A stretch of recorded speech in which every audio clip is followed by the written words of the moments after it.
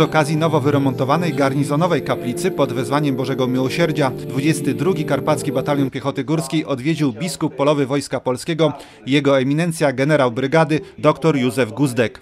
W lutym tego roku, podczas takiego spotkania wszystkich kapelanów armii natowskich w Lublianie, w Słowenii, mieliśmy spotkanie z naczelnym dowódcą armii amerykańskiej w Europie. I on powiedział takie zdanie, że każdy żołnierz, jeśli jest człowiekiem religijnym, ma prawo, by te jego potrzeby religijne były zabezpieczone. I powiedział, że są trzy rodzaje dowódców.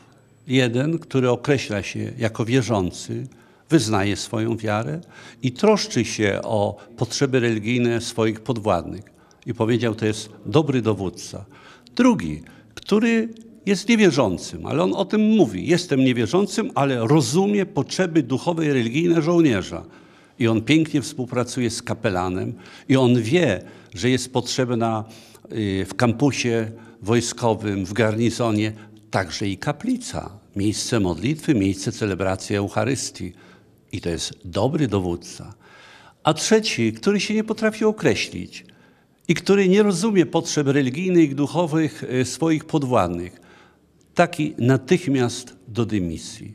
Uroczystość na terenie Karpackiego Batalionu Piechoty Górskiej rozpoczęła się od złożenia meldunku biskupowi polowemu Wojska Polskiego przez dowódcę Karpackiego Batalionu Piechoty Górskiej. W uroczystości udział wzięli przedstawiciele Urzędu Powiatu Kłodzkiego, służb mundurowych, m.in. Policji, Straży Granicznej, Duchowieństwa oraz Parlamentu. Wojsko y, jest, y, musimy o tym pamiętać, nie tylko po to, żeby bronić granic Rzeczpospolitej Polskiej, choć to najważniejsze zadanie, ale pełni- również ważną rolę społeczną, e, wychowawczą, e, w budowaniu patriotyzmu, w edukacji młodzieży i budujące jest, że na dzisiejszej uroczystości poza wojskowymi widzieliśmy też uczniów klas mundurowych z Kłodzka, z innych miejscowości naszego regionu. To bardzo ważna e, rola społeczna, e, tak jak powiedziałem i 22 Batalion świetnie ją wypełnia. W dalszej części uroczystości w sali odpraw odbyła się prezentacja multimedialna przedstawiająca zadania, struktury i zakres działania 22 Karpackiego Batalionu Piechoty Górskiej, którą poprowadził dowódca jednostki podpułkownik Piotr Rupa.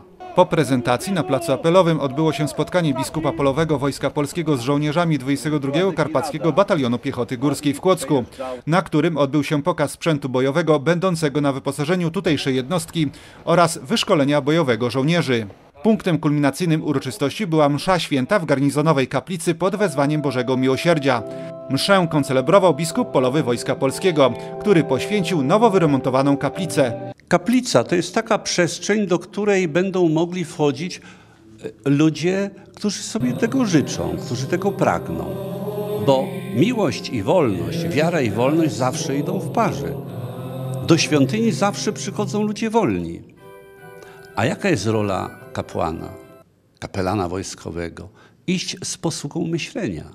Niewiele jest rzeczy równie ważnych jak posługa myślenia, powiedział e, Jan Paweł II.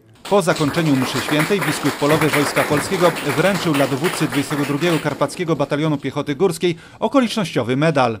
Odwołując się do tradycji karpackiej, 22 Karpacki Batalion Piechoty Górskiej nie może zapominać o filarze tej tradycji, jakim była y, sfera y, duchowna. Y, Nabożeństwa były organizowane nawet na polach bitewnych pod Monte Cassino i Tobrukiem. Y, Przelana krew karpacka jest pomnikiem sławy, której my jesteśmy spadkobiercami. Y, Wiara w Boga jest y, i Bóg jest integralną częścią życia żołnierskiego. Ojczyzna, której obrona jest naszym obowiązkiem, musi być oparta na wartościach religijnych i Bogu. Dzisiejsza uroczystość i udział w niej 22 Karpackiego Batalionu Piechoty Górskiej wraz e, z licznie zebranymi gośćmi na czele z, z biskupem polowym Wojska Polskiego, e, księdzem biskupem generałem Józefem Gustkiem jest dla nas, żołnierzy batalionu, e, wielkim honorem i zaszczytem. Uwieńczeniem tego dnia była wizyta biskupa Wojska Polskiego w sali tradycji, w której to jego eminencja złożył wpis do księgi pamiątkowej 22 Karpackiego Batalionu Piechoty Górskiej w Kłodzku. Wspaniałe doświadczenie, wspaniałe spotkanie, wspaniali żołnierze, wspaniały dowódca.